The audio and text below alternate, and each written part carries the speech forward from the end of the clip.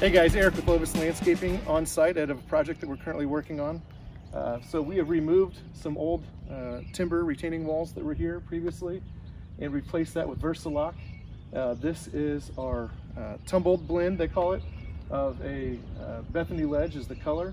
So it has more of that antique look of that tumbled uh, aged corners. So you can see as that wall curves out there to that end, over here on this side, we've incorporated a set of steps. Um, it's still in construction here, so our steps aren't on there, our treads are not on there. We actually have lights that'll go underneath those treads to illuminate that as they're walking down here to the lake.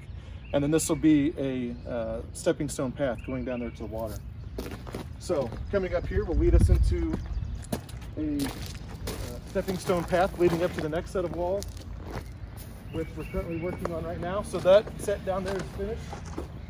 And then here we have another set of steps on this wall that leads up to the upper level and that wall will be continuing around to the other side.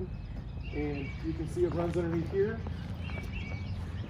which the customer had previously had that deck coming down to a landing on these old walls. So we had to get all that out of there get the decking out of there work underneath the deck removing by hand uh, all the old timbers and installing our new wall right there. So we're right up to grade on that side. All we got to do is cap it off and uh, finish running that wall out that way.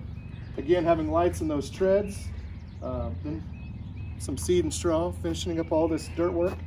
And this will be another one uh, in the books. This is a project that was first looked at a couple years ago and late last fall, uh, had all the pieces together of everything that needed to uh, be done for this project.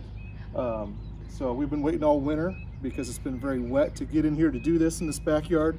Uh, so we're really excited and really excited to see how this looks when it gets done. So we'll show a status update after we get everything finished to see what the final product looks like. Thanks.